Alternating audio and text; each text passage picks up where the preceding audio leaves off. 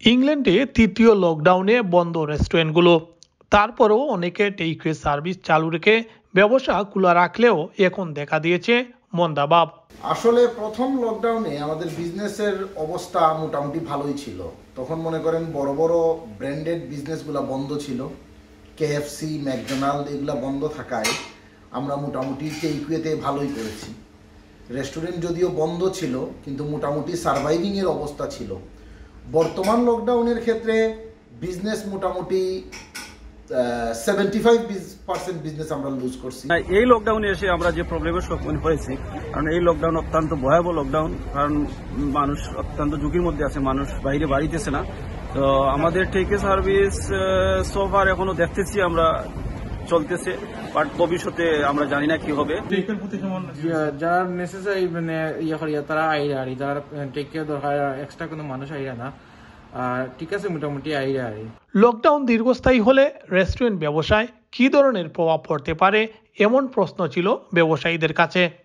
আসলে long time lockdown থাকলে আমার মনে হচ্ছে যে আমরা দরজা বন্ধ করা ছাড়া সেকেন্ড কোনো অপশন থাকতেছে না। খুব ঝুঁকির মধ্যে আছি। এখনই আমরা হিমশিম খাচ্ছি, আমরা জানি না কীভাবে কি করব। সরকারের যে স্বেচ্ছাসেবীদের স্টাফের বেতন, এগুলো আমরা যে ভর্তুকি দিতেছি এখনও আমরা ঝুঁকির মধ্যে আছি। এভাবে যদি লং টাইম রেস্টুরেন্টগুলো বন্ধ থাকে, তা আমি রেস্টুরেন্ট ব্যবসার ভবিষ্যৎ কি আমি জানি না। ইজ ওকে বা লং টাইম হইলে ইজ ভেরি ডিফিকাল্ট হইব কারণ এরকম বিজনেস চালিয়ে যাওয়া যাইতো না। কারণ ডে বাই ডে আরও ইয়ে আর ওয়ার্স জানিয়ে না ইন ফিউচারে আমরা কিতা অবস্থা ইয়ে হইব। অনলাইন টেকওয়ে সার্ভিসে এখনও অভ্যস্ত নয় বহু ব্যবসা প্রতিষ্ঠান। তো আমাদের বাঙালি কমিউনিটি এখনও ফুললি অনলাইনে অভ্যস্ত না। কিছু যেগুলো আছে টুকটাক আছে আমরা অনলাইন আছে ওভার জাস্ট আমাদের পার্সোনাল অনলাইন আছে। সব মিলিয়ে যেরকম ভালো না অনলাইন কিন্তু কালেকশন সোফার এখনও মোটামুটি চলতেছে কিন্তু ভবিষ্যতে আমরা জানি না কি হবে ব্যবসার ওবার তো ফোনে খেয়ে দিরা খেয়ে আবার আইয়াও লইয়া যাইরা। এরকম প্লাস আমরা অনলাইন অর্ডারও আছে। অনলাইন অর্ডারও মোটামুটি সফর যা ঠিক আছে আলহামদুলিল্লাহ। মহামারীতে সরকারি সহযোগিতার প্রশংসা করেন ব্যবসায়ীরা।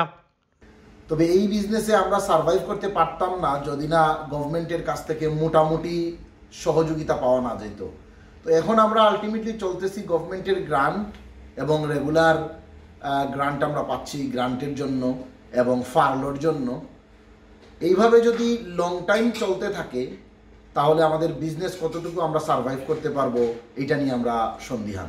ব্যবসায়ীরা আশা করছেন ভ্যাকসিন কর্মসূচি দ্রুত সম্পন্ন হলে আবারও রেস্টুরেন্টে ফিরবে মানুষ। সেই সুদিনের প্রত্যাশায় রয়েছেন তারা। Zakir Hussain, TV one news, London.